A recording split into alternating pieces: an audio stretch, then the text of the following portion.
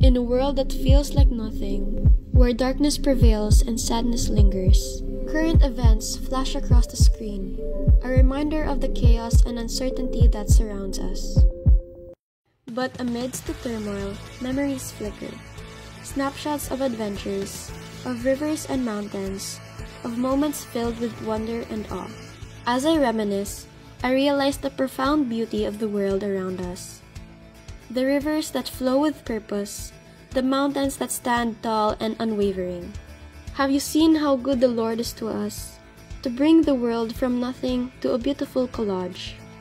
Join me to discover the river of identity, the breeze of belonging, and the mountain of purpose. Together, let us gaze upon the horizon of destiny and learn to embrace it. Learn to embrace you.